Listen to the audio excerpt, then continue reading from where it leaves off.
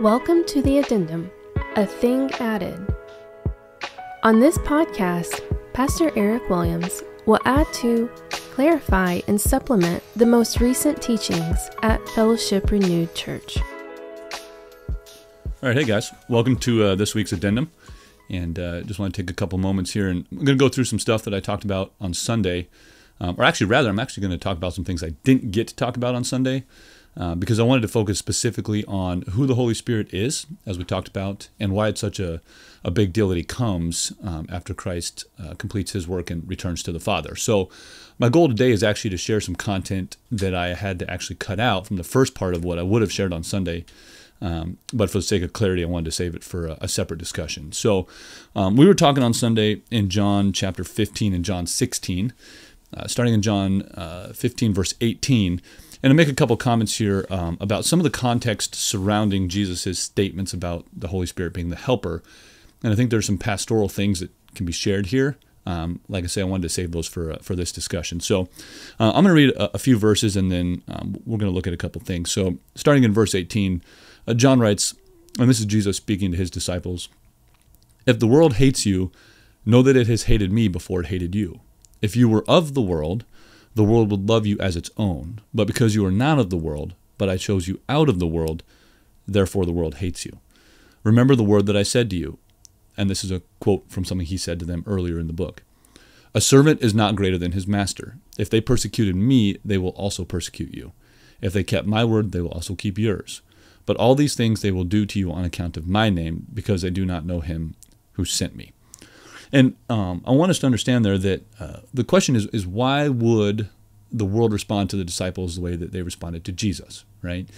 And the answer to that is because um, as disciples of Christ, we are supposed to be like Christ, right? And uh, and it says um, in uh, in John 13, 16, as I said, that if they hated me, they will hate you, and, and a servant is not greater than his master. Point being there, the reason the world doesn't like Christians is because if we're being faithful, we are being like Christ, and Christ confronted the world gently, of course, um, but with their sin, right? And so, for the believer to look like Christ means that the believer is going to come into conflict with the way that the world operates and the way that the world thinks, the way that the world believes, right? And so, I want us to think for a minute um, that if if we or if someone else who claims to be a believer is loved by the world, then we ought to have some pause or some cause for concern because if we're living faithfully as believers, uh, that is going to have that's going to generate friction between us and the world, right? And that's not to say that we should be intentionally uh, what would be the word unpleasant or intentionally abrasive or that we ought to be unpleasant people to be around in our, our temper or our tone or the way in which we speak about things that the world doesn't agree with. Um, but in terms of the lives that we lead and the things we believe about uh, who God is and sin uh, and what is right and what is wrong, then inasmuch as much as we reflect Christ in those things, the world is not going to like that, right? And so um, we ought to be careful that if the world doesn't have any problem with us or someone who claims to be a believer, that there uh, there's there's cause for concern there because as we reflect Christ, um, the world will treat us as it treated him, right? And uh, and that's because, as he says in Matthew 28, we're supposed to teach the world everything that he commanded, right? So we're supposed to take the things that he taught and turn around and, and, and teach them as well, right? So we're supposed to be like him in the world. And as such, we can expect to be treated as he was treated. Um, and another thing here that uh, that Jesus says is um, is verse uh, three of chapter sixteen, and I, I, think these are connected, right? So in chapter sixteen, verse three, he says, "They, the world, will do these things, that is, persecute the disciples, because they have not known the Father nor me." Right? And it's interesting because Jesus lived in the world, and the world knew a lot about Jesus, right? And I alluded to this briefly on Sunday, but there is a very big difference in the scriptures between knowing about someone and having a personal knowledge or a relationship, um, an intimate knowledge of, of who someone is as well, right? So the world had a lot of information about Jesus.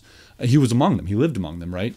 Um, it wasn't as if they didn't know about Jesus as they were persecuting him or as they were uh, even putting him to death. They knew where he was from, they knew exactly what he was teaching. Uh, the difference was they didn't like those things, they didn't have soft hearts towards those things.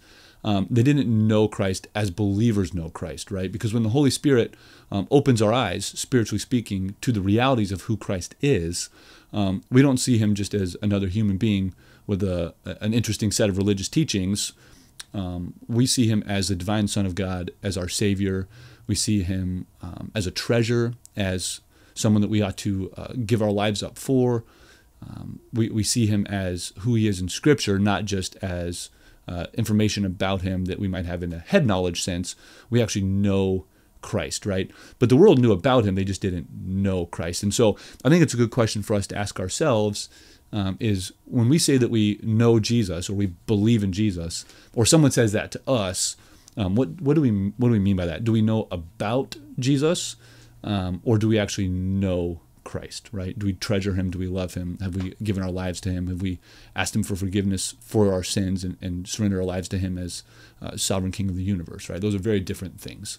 So I want us to think in terms of um, knowing Christ personally and uh, and relationally and not just having information about who he is, right? Which are which are very different things. The world had a lot of information about who he is, um, but it did not mean that they that they loved him, right, or truly knew him.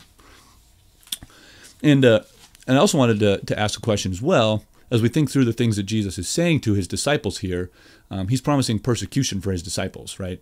But in the spirit of um, thinking through the context of the passage, uh, we need to be careful to make sure that we're asking the question is what Jesus is saying here just for those disciples, right? Because we know that those disciples faced intense persecution, right? Um, they were uh, they were all in one way or another martyred or killed for their faith, right? And so what Jesus said clearly applies to the disciples that he was speaking to in that room at that time. But we can ask ourselves as believers who are now 2,000 years removed from that are the things that Jesus says here about the world persecuting those disciples uh, or persecuting his disciples uh, true for us as well, right? Um, or should we expect something different? And in 2 Timothy 3:12, Paul writes to Timothy uh, and says, very clearly that all who desire to live a godly life in Christ Jesus will be persecuted, right? So it is important for us to realize that Jesus was speaking to those disciples about some specific persecutions that they would face, and they did, but also those same persecutions, that hatred that the world had toward his followers, is something that all who live a faithful life, of course, that being a very key word there, um, can expect to face as well. So it looks different, obviously, for us than it might look in other parts of the world where you know, people are, are, are killed or imprisoned regularly for their faith. But inasmuch as we are faithfully living out our faith in a world that doesn't know or love the Lord, we can expect to be persecuted in some capacity for that, right? And, and one other thing to add here in terms of uh, knowing Christ and knowing the Father, right? Jesus says in uh, in verse 23 that uh, they did not um, they did not know Him or the Father, right? And then in verse 23 he says, "Whoever hates me hates my Father also." And along the lines of understanding that there's a way of knowing about Christ that is just a, a mental knowledge, but not a relational knowledge, um, or a changed heart knowledge towards Christ. There's a way in which I think sometimes people unhelpfully draw a distinction between uh, loving Jesus and loving or believing in God, right? As if they're somehow divisible, right?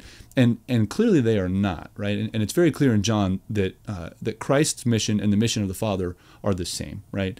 And so for someone to say, well, I'm not real big on God, he seems mean and angry, but I like Jesus, um, he seems like a nice guy, is a very false distinction that we need to be aware of and reject that, right? Jesus says if you don't love him, you don't love the Father, and vice versa, right? And so I think a lot of times when people say that, they're they're coming um, to the scriptures with a, a false understanding of uh, the differences some people like to point out or, or tried to make between God of the Old Testament, as it were, and, and Jesus of the New Testament. But really, as we understand the scriptures together, it, it, it's not a distinction that we should be making, right?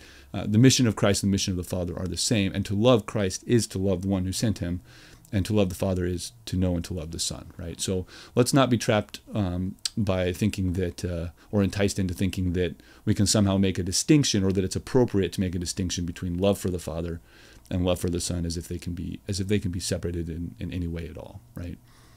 Just to kind of recap where we're at on Sunday, in addition to those thoughts I just shared now as additional material, um, just to kind of give the highlight of where we were Sunday as, as one more way to to uh, help us get get that in our minds. Um, Jesus talked about how the Holy Spirit was going to come, and the world uh, hated him and his followers, but the Holy Spirit was going to help his followers to bear witness to the world, and the Holy Spirit was going to bear witness to the world as well. And we talked about how he does that by convicting the world of sin, um, of their lack of righteousness, and of their uh, wrong judgments. And then we also talked about how significant it is that the Holy Spirit comes because that's the fulfillment of promises that God made long before uh, to bring about an, a time in salvation history when uh, he was going to give his people new hearts, circumcised hearts, and he was going to make his children through the offspring of Abraham, the offspring Christ, into the true offspring of Abraham through the gift of the Holy Spirit. And we call that uh, the latter days where we are right now, right? We're in that time period where God has poured out his Spirit on uh, believers, and we are blessed with the benefits of having God himself indwell us and give us what we need as believers to be able to live lives that properly honor him and, and live out his image in us. So thanks for tuning in to this edition of the addendum, and we'll see you on Sunday. We're going to talk more about the gifts that the Holy Spirit gives and uh, how we can serve the body through the uh, through the gifts that He gives believers. Thank you for joining us on the Addendum Podcast. For more information about Fellowship Renewed Church, visit frcsparta.com. Please join us for next week's episode.